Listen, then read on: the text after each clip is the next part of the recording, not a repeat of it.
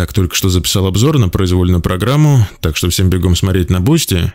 Ну, порадовало, что много было довольно приятных прокатов. Из КМС можно выделить Лизу Хорт и Гордея Чтипаховяна. Довольно органично смотрится, есть ход и есть пластилиновость, особенно у девочки. И она уже очень неплохо так проявляется в владении коньком. Пока еще не до конца не так это качественно, но задатки хорошие. Ну а во взрослых это Ира и Дэвид. Единственное, чего там не хватало, потому что музыка, костюмы, даже движение корпусом, что является пробелом у многих, здесь все было хорошо.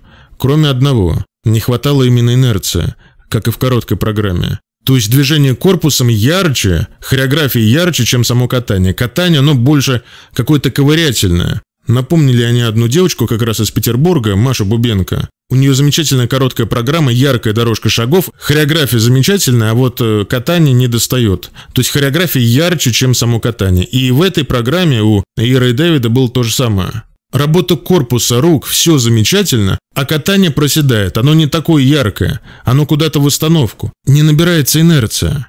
И это вот не дало полностью почувствовать программу. Потому что с остальных сторон все замечательно, а вот катание не убедили.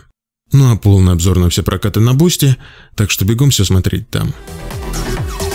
Буду повторять день за днем, у тебя плохое владение коньком.